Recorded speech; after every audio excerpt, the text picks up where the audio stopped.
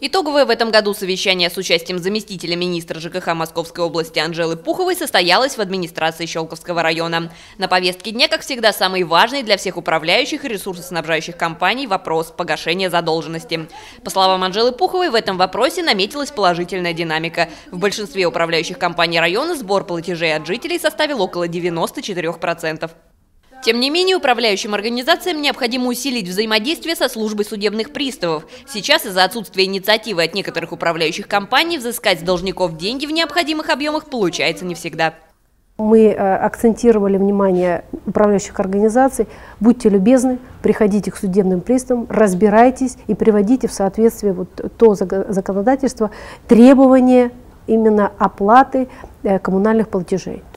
Также важной темой обсуждения стала работа Мособл ЕИРС. Постоянные жалобы на его работу поступают с момента вхождения Щелковского района в областной расчетный центр. Всему виной ошибки в квитанциях, которые произошли из-за перехода ЕИРС на новую базу данных. Теперь жители должны сами приходить в офисы расчетного центра и на месте разбираться со всеми ошибками. Даны поручения как администрации, поскольку администрация района курирует за всем этим вопросом.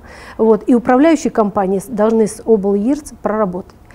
В 2016 году совместная работа заместителя министра ЖКХ Московской области и районной администрации продолжится. По мнению Анжелы Пуховой, постоянный контроль за ситуацией поможет районной сфере ЖКХ справиться со всеми существующими трудностями. Мария Смирнова, Игорь Поляков, телерадиокомпания «Щелково».